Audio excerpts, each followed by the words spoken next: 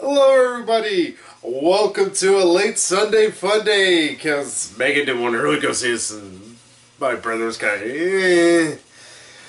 But yeah, uh, finally here to talk about the birth of the dragon. I did realize there was actually two movies that came out this weekend, but as far as I could tell, near me, the movie I think it's called Leap or Ballerina. It's going by a thousand different names pretty much the ballerina film that's CGI because it has no reason to be CGI, it just happens to be.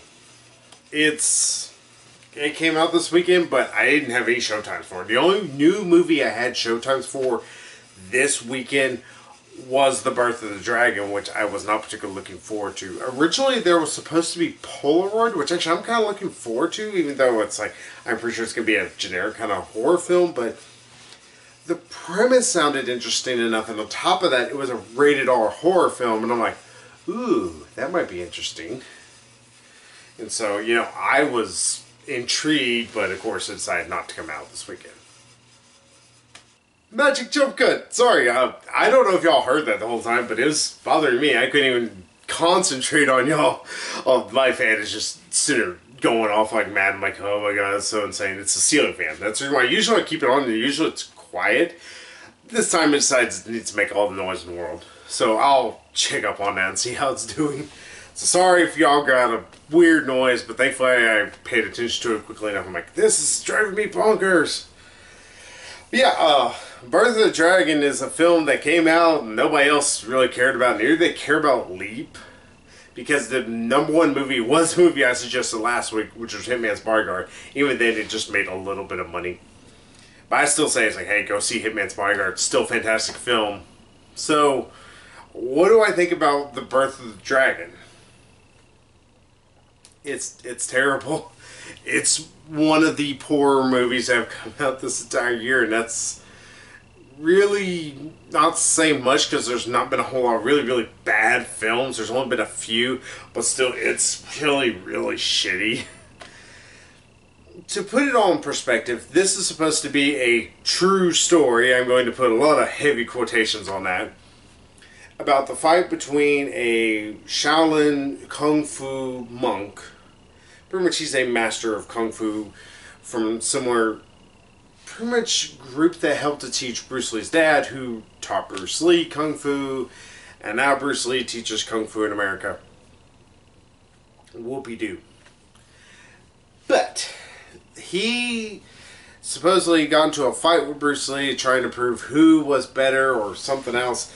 If you actually follow the plot of the trailer, it makes it seem like this guy is hardcore, like, oh, Kung Fu should only be for the Chinese. You know, it's pretty much technically racist.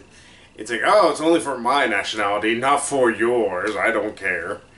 Simply because it should only be for us, because you poor human you poor Americans will never understand this. Thanks, elitist asshole. But in reality, it's a lot more than that in terms of why he doesn't. But the reason still is not very good. I will give him that much. They at least didn't go with the stupid reason of, er, I don't want the white people to learn, even though clearly you see during Bruce Lee's class that he does have like a few black guys, a few Hispanic guys, stuff like that. It's like, okay, he teaches more than just white people. Why keep saying white people? It's so ignorant of everything.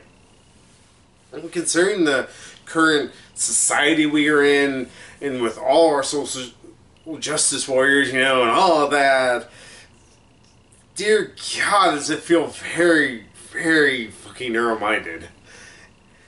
But really, the failing of this film, it's quite obvious what it is. This is supposed to be based on a true story about a fight that happens, and it's not interesting. It's it's boring to sit through. The main character of this film, first off, you would think, oh, it's Bruce Lee. It's totally Bruce Lee. Such as like with The Last Dragon. One of my favorite 80s films, which is such a great homage to 70s and and even like early 80s like black exploitation and kung fu films that it's just glorious especially with Sho'nuff Nuff which is just the best evil ultra bad guy ever and he's the best final boss ever for any game Even though he's in a movie, he's a video game character. I don't care what anybody says.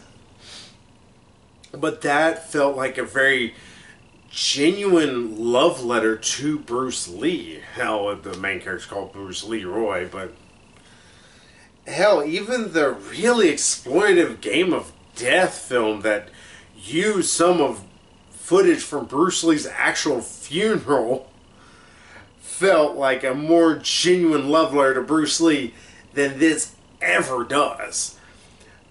This film makes Bruce Lee, first off, seem like a prick. Like he's just an absolute asshole, not even a slightly likable one. And I get Bruce Lee was a bit of an arrogant guy. That's not even up for debate. Everybody agrees to this. But it's to the point to where you he's really punchable. Like you're sitting there the whole time, you're like, mm, I'd like to punch you in the face. I don't care if you kick my ass afterwards. Really want to punch you in the face. And it doesn't help that it keeps with Bruce Lee being that way, but he has such little screen time that he can't redeem himself. He's constantly stuck in this wallowing pit of I'm just this pure contemptible asshole the entire film. Pretty much just starts off with the main antagonist in a way. It's it purposely makes it kind of vague. Is the best way to put it. I want to say his name is Jackman or Jackman. Something that they kind of pronounce a little weird. But pretty much he's the Shaolin monk, kung fu guy who fights Bruce Lee. I will give the actor this much. He does what he can with what he's given. It's not a ton. He's not bad. He does some decent flippy flues. You know, he tries to sell his kung fu or his martial arts that he does and everything. But he's just kind of not given a lot to work with. He's okay. He's completely passable. In a better film, a better martial arts film, he would at best be the lowest point, but even then, he wouldn't be a bad point. So, alright, we get past him. Then we get introduced to this main guy. His name is Steve. And turns out he's the main character of the film. There's your first failing there. How do you make a Bruce Lee true story based on this one event and Bruce Lee's not the main character? Like, truly, the Bruce Lee, the guy who's playing Bruce Lee in this, he makes up about 15, 20 minutes of the movie's runtime. Most of his run is dude Steve and his, where he just randomly falls in love with this one lady who is not really in part of sex slave, but it's like starting to put her in sex slavery. And even then, it keeps talking and dancing around the words. It feels, it feels neutered. It feels like this is nowhere near close a PG even a PG movie. Like this feels like a it's a G. It's all it's for all audiences. Eh, why? Why is this a thing? I think technically it's rated PG thirteen because I say ass a few times, but it's weird how they'll dance around words, and it's just like constantly threatening threatening to sell or give this girl to sex slavery but even then, it's like I don't care. I mean, she's pretty, but I mean, that, I don't know anything about her personality. Like she's just she's a pretty Asian woman. What, what am I gonna do with this? There's nothing I can do with this. This is not a character. This is just this is what people hate princess movies supposedly for. They hate when they are just a prize to be won. And that's all this lady is. She is simply a prize to be won and be lifted aloft as his new thing he won. Instead of, and not only that, but Steve has all the charisma of a wet piece of paper. I described it to Megan because uh, me and her were talking before this about this film because she was kind of curious, like if it was as bad as I was originally dreading, and it was. It was worse, I think. I described him as a piece of toast covered in mayonnaise. A white bread piece of toast covered in mayonnaise. And that is the best way to describe him. The man can't really act. I don't believe a single thing he says. He's not Tommy Wiseau version of, you know, just never finds the correct emotions for any of the inflections he's supposed to be using. But it's all so forgettable. It's Ben Kingsley from BloodRayne. Just how Ben Kingsley just read his lines. He didn't really care. He never really said much. Just kind of, this is a thing I am saying. It's that, but without the charm of it being Ben Kingsley, it's just this schmuck who's also in other stuff. I mean, it's kind of almost magical how little shits are given throughout this. Ugh. But then, like I said, he's the main character throughout this film. But we do have Bruce Lee, the guy who tries to pretend to be Bruce Lee.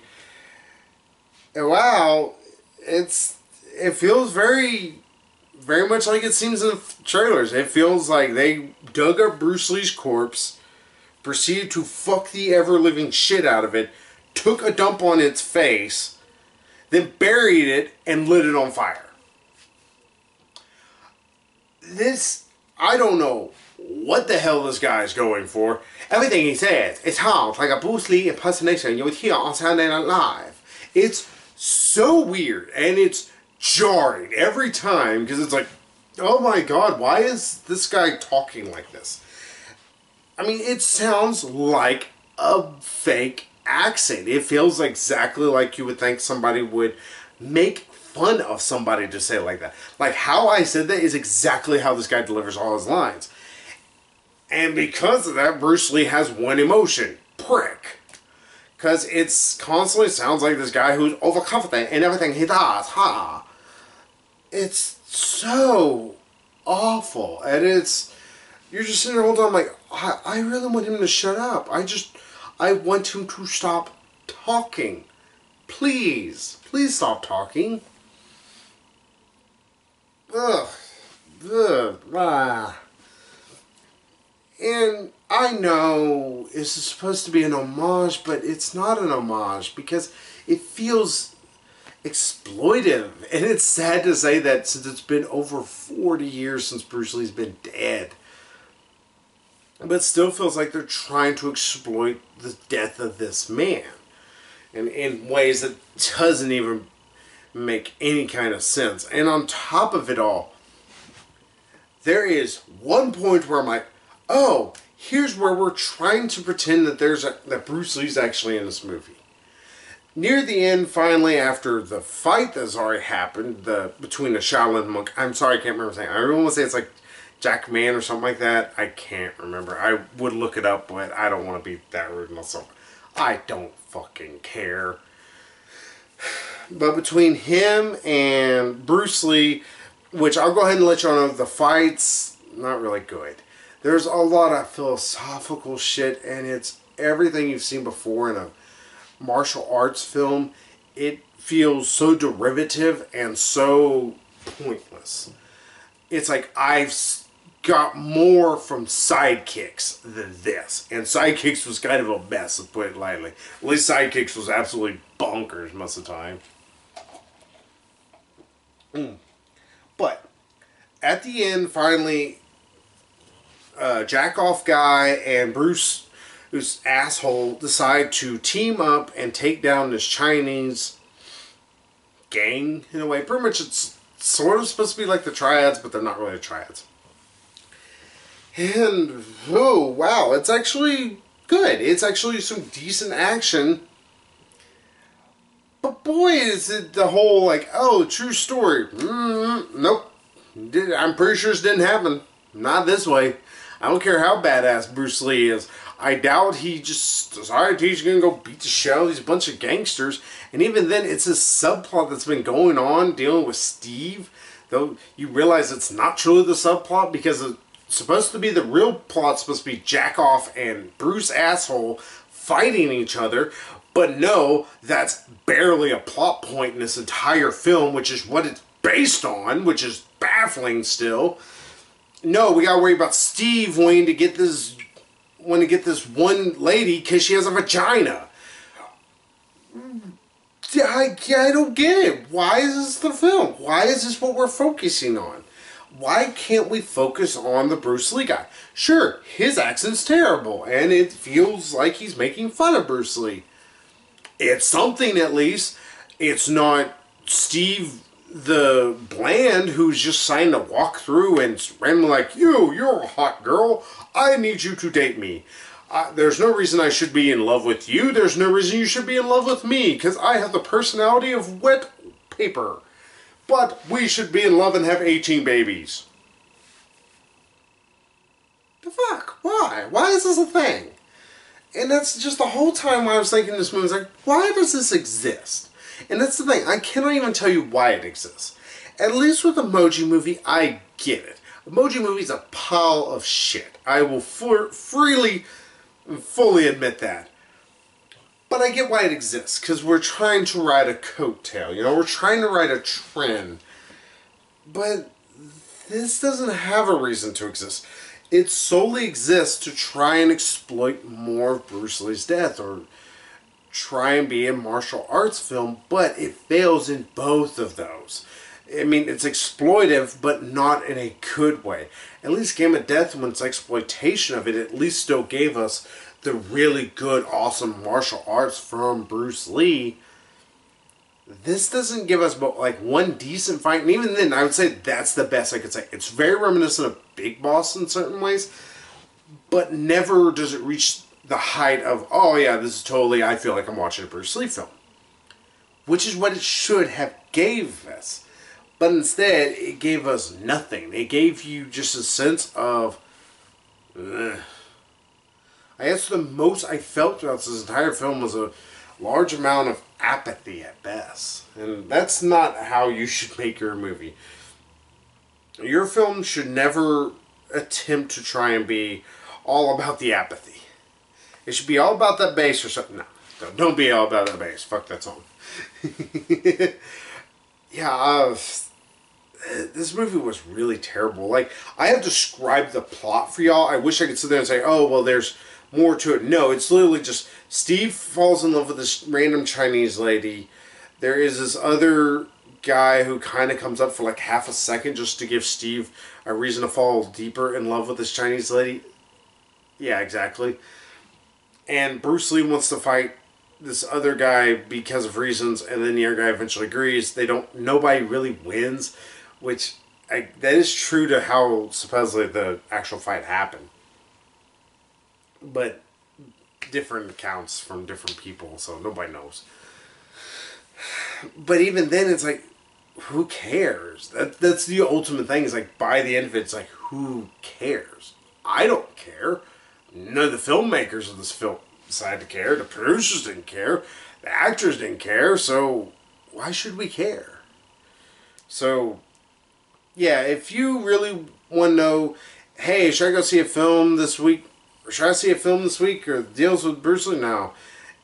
You just have to spend money. Uh, this is gonna sound weird and oddly like atypical. Uh, spend your money to give it to a good cause. Send it to some of the people that are down in Houston there that have lost their homes and everything. Donate it there. Donate your time or anything. Don't watch this. This is a mess of a film that in the worst ways. It's derivative in none of the good ways that a good martial arts film should be derivative. It, as you can guess, it's a one. This doesn't reach a higher crescendo than that. It's one of the poor martial arts films I've seen in a while.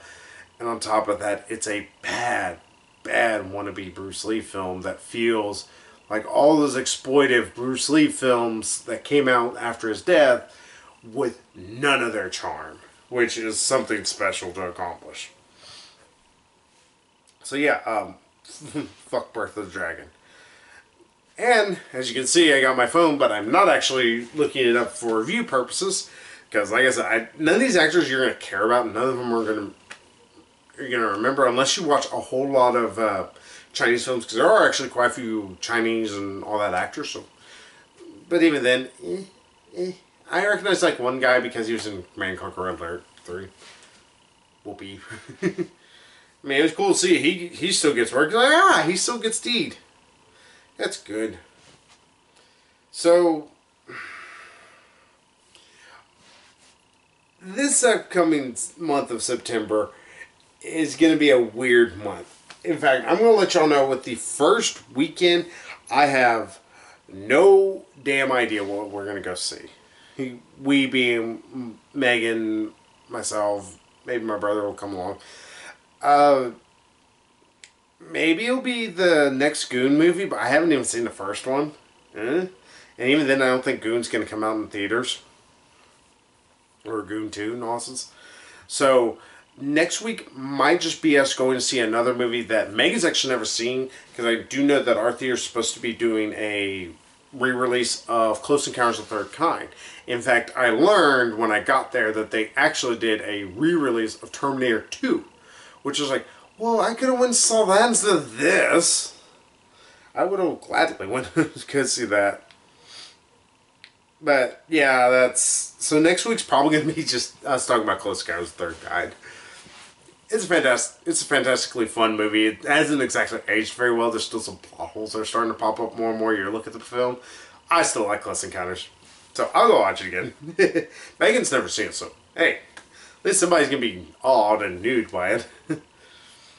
uh, the week after that, the eighth is gonna be it. I mean, we're gonna probably just go see it. Um, maybe I might go see Home again. It's the Reese, Reese Witherspoon movie. I'm like, it looks uh, decently chuckle worthy here and there. Eh. Uh, the 15th will definitely be American Assassin. I've actually been looking forward to it since I first saw a trailer for it. That looks like it's uh, going to be a hell of a lot of fun. And I got a lot of really good accountant vibes from it in a good way. So I'm looking forward to it. Uh, probably also that week I will go see Mother, the new Darren Aronofsky movie. I'll see exactly how it works out because, like I said, our theater's weird and some things just don't appear there. We just don't get. Uh, the week after that will definitely be also two movies. The 22nd, I'm going to go see Kingsman The Gold Circle and the Lego Ninjago movie. Megan and me might try to go see Lego Ninjago just ourselves because I know my brother really wants to see Kingsman. Megan's kind of curious about it, but she wants to see the first one. So she might not be with the Kingsman review, but with the Lego review. We'll just see exactly how it ends up working. But definitely there will be two reviews because I actually want to see both those movies. more I see of Lego Ninjago, the more I'm like, oh yeah. Especially since the Lego Batman movie was just the funniest stupid thing I've ever seen in a while. Um, then just to end the month, it's definitely going to be American Made. I saw that even though Tom Cruise's accent's not the greatest thing in the world, it's still enough that I'm like, alright, you, you want me Tom Cruise. if I can also, again, this is still dependent, I will go see Jeepers Creepers 3. It's supposed to come out a few days before, or American Made. I might try and see if it will be doing like a later showing or something like that and sneak in and go see that. I don't know. Again, theater's weird. But definitely American Made will end up this year, and if I'm lucky, Jeepers Creeper 3 will also be in there. So yeah, like I said, this month is going to be weird. Like near the end is where all the stuff is actually coming out. And the first weekend, this next weekend, I don't know what it is. It's like, it will be a movie. I don't know what that movie will be. It's going to be a thing. So yeah, uh, like I said, donate to a good cause if you would instead of go see this. If you just absolutely like, I need to go see it. That not many people want to. Or if you just have have to see a movie this weekend, go see Hitman's Bodyguard. Go see Spider-Man: Homecoming. It's still in theaters. Uh, hell, go see Wonder Woman. It's still in theaters as well. It, it, there are so many better films and so many more worthwhile films in this. This going to see The Birth of Dragon is just going to be such a waste of your time. Like it's not even bad in a like almost interesting way. Like I, if I can say that much about uh, uh, Resident Evil Final Chapter, as terrible as it is, it's at least bad in a very interesting kind of way. This is just a plain shit sandwich with a little bit of you know diarrhea dipping sauce. It's it's terrible. so whatever's going to be next week, like I said, probably going to be Close Encounters of the Third Kind. If not, I might also try and sneak in uh, Terminator 2 just so I can make. I'm going to then just sit there and flate this movie all night long. I love Terminator 2. It's so fucking awesome.